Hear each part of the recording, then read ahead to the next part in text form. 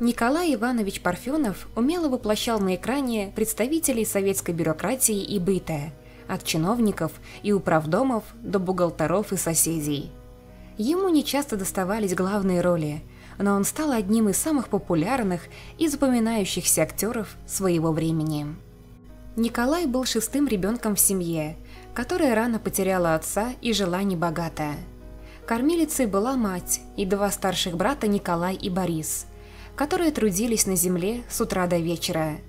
В 30-е годы семью Парфеновых обвинили в кулачестве, и их мать выслали на добычу торфа. Тогда Николай уехал в Москву, где устроился простым рабочим на завод.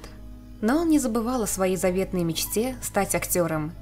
Он решил испытать удачу и поступить в театральную студию, организованную театром Моссовета, где тогда был недобор.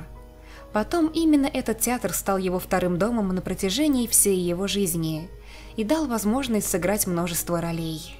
Парфенов начал свою кинокарьеру в 1945 году – а в 50-е стал одним из самых востребованных актеров в фильмах о жизни и труде. Николай Иванович принял участие более чем в 130 картинах, не прекращал сниматься до 80 лет. Многие зрители помнят его по фильмам «Афония» и «Мы, ниже подписавшиеся». На самом деле артист был совсем не похож на сыгранных им экранных персонажей, которые часто оказывались неловкими и неумелыми в общении – Николай Иванович знал поэзию, умел играть в шахматы и ценил хороший юмор. Кроме того, он не имел вредных привычек, избегал пить спиртное и всегда поддерживал свое здоровье. Артист очень дорожил своей семьей, но крепкий брак ему удалось построить, лишь пройдя через расставание. Николай попробовал создать семью со своей коллегой Ольгой Васильевой, у них появилась дочка Ирина. Но они не сохранили чувства и развелись. Парфенов тяжело переживал развод. Но потом друзья-актеры познакомили его с женщиной, работавшей в бухгалтерии театра, которая была в разводе и растила двоих детей. Николай Иванович не растрачивал свои заработки, надеясь повидать вместе со своей женой мир, но был обманут. В 90-е его деньги обесценились, когда его супруга пострадала от инсульта и потеряла способность двигаться, Парфенов ушел из театра, чтобы уделять ей все свое время. После ее кончины он остался одиноким. Его поддерживала только сестра Антонина, а дочь Ирина приходила изредка.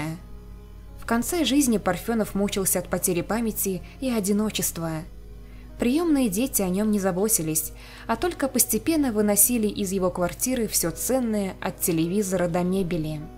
В итоге у Парфенова не осталось ничего, кроме старого дивана, на котором он спал.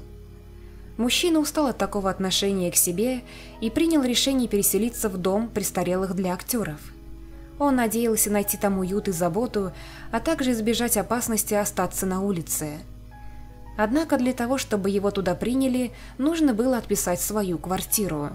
Парфенов согласился, но обнаружил, что в его жилище прописана внучка.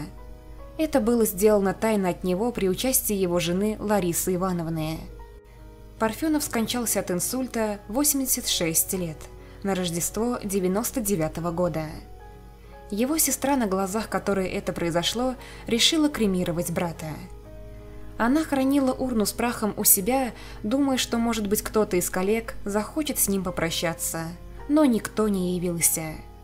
Урна с прахом была позже похоронена на Химкинском кладбище.